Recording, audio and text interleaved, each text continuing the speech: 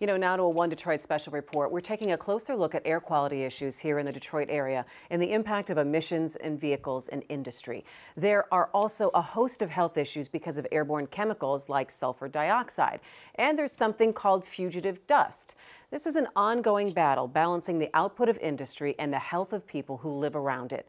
The city of Detroit has been looking at ways to address that problem, and this fall, after years of debate, the city council passed a new ordinance.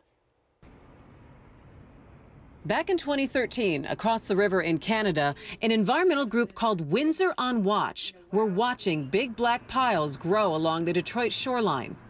We first got wind of it when uh, a lady that lived in one of the apartment buildings on the riverfront saw this black dust on her balcony. But when we saw these piles, we knew exactly what that was on this woman's balcony.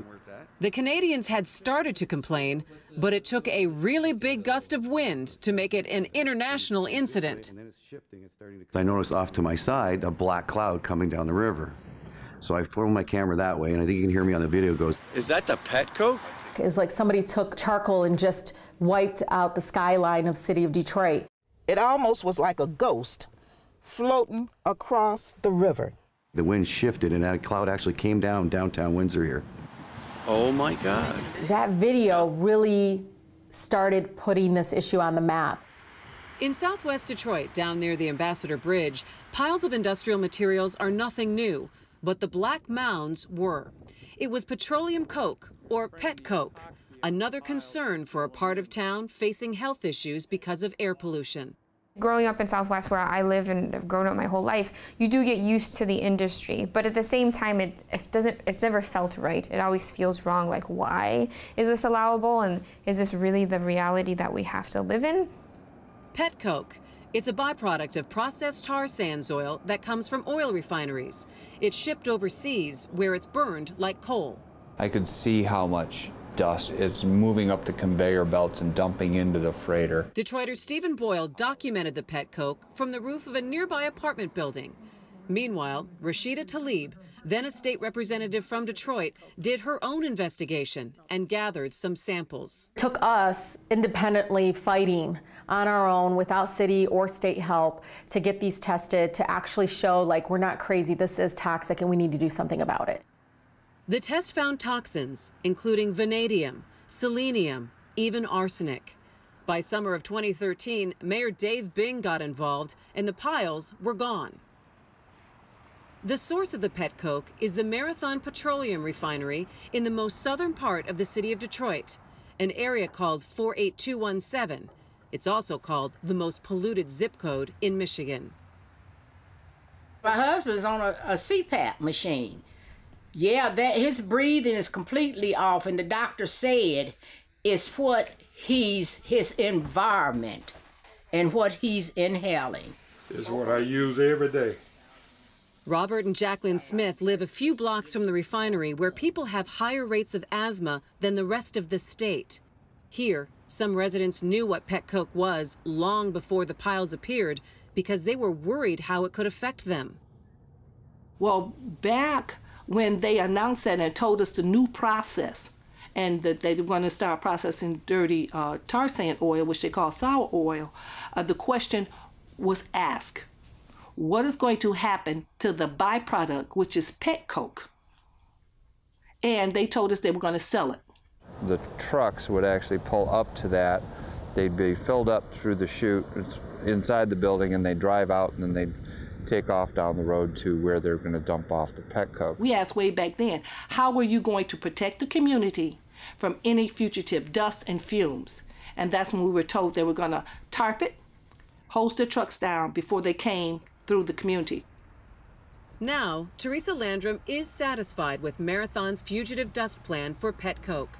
It's held in an enclosure, not like what happened on the river in 2013, which was not Marathon's problem. But with more bulk storage facilities around the city, there are a lot more piles of other stuff which can go airborne.